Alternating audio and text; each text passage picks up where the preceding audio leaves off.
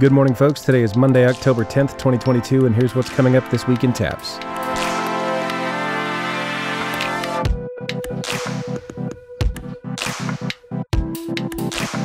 We're coming to you from the Waco Regional Tennis Center just as our 2022 Team Tennis Championship gets underway.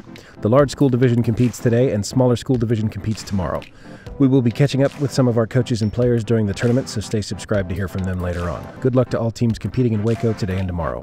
Follow at tapps underscore tennis for results and updates, as well as links to all of our media coverage. We are one week closer to the 2022 Cross Country State Championship, which will be held on Halloween here in Waco. Congratulations to the Warriors of Woodland Christian. The girls' team took first place over the weekend in the Speedster Cross Country meet in Austin, and the boys' team took third place. Also, last week, thank you to all who participated in our second annual match play golf tournaments. The Bears of Ursuline Academy took the championship in the Diamond Division, the Shelton School in Gold, All Saints Episcopal School came out on top in the Platinum Group B, and the Woodlands Christian Academy took first in the Platinum Group A. Please be sure to check out our full TAPPS Talk episode on Match Play Golf. It's in your feed. Photos from the competition are available at tapps.biz slash photos. Wow. Wow.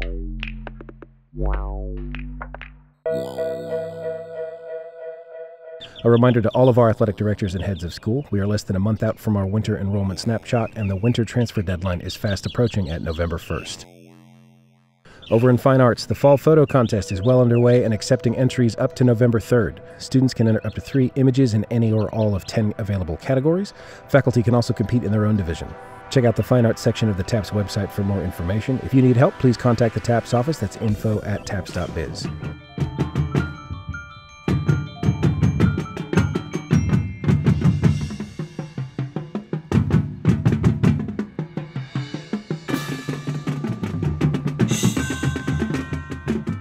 Performance schedules for the 2022 Fall Band Championships will be posted later this week on the TAPPS website.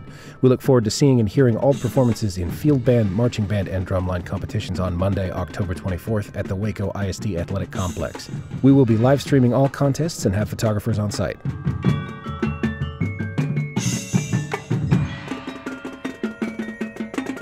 That's it for this week in TAPPS. We'll be back next week with more from our community across the state. Got something special that you want us to mention? Tag us on Twitter at TAPPS Talk, and we'll try to get it on the air. Or send us audio, video, or text to talk at tapps.biz.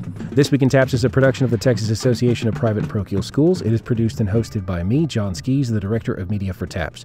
Brian Bunselmeyer is our Executive Director. Robert Huckabee is our Associate Director and Director of Compliance. Steve Prudhomme is our Associate Director. Steve Huhulin is our Athletic Director. Rhonda Smith is our Director of Fine Arts.